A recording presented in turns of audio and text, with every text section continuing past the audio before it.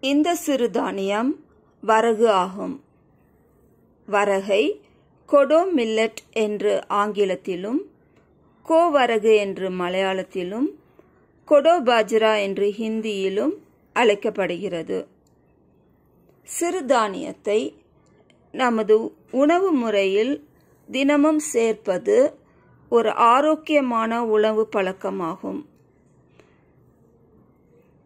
IGNOU regional centre Cochin மூலம் வழங்கிய இந்த நிகழ்ச்சியை பார்த்ததற்கு நன்றி.